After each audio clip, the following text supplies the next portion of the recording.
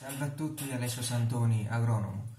Oggi parliamo di adempimenti per la commercializzazione dell'olio d'oliva e dell'olio di sanza.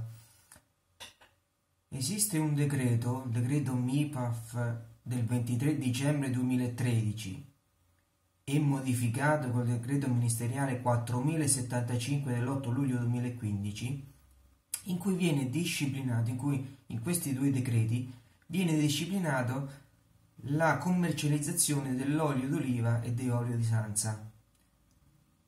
Tutti i produttori che producono olio superiore ai 200 kg di olio di campagna, cioè di, di produzione annuale superiore ai 200 kg, devono registrarsi al registro telematico del CIAN.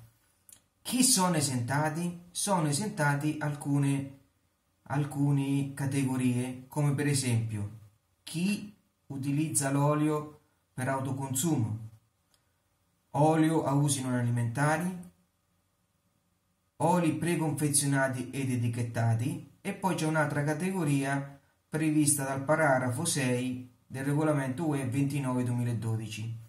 Allora, chi produce olio superiore a 200 kg di olio per campagna di produzione si deve registrare al registro telematico del CIAN.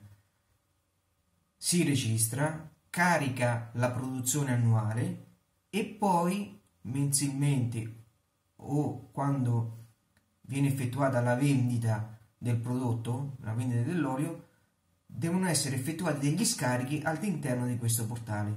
Quindi tutti i produttori che non usano l'olio per l'autoconsumo e producono olio superiore ai 200 kg per campagna di produzione annuale, si devono recare presso i CA, centri agricoli autorizzati, per effettuare l'iscrizione al SIAN se non ce l'hanno e poi caricare la loro produzione annuale.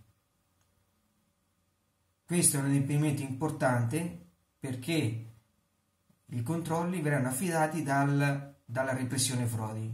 Quindi mi raccomando, chi produce olio superiore a 200 kg e lo commercializza si deve registrare al CIAN.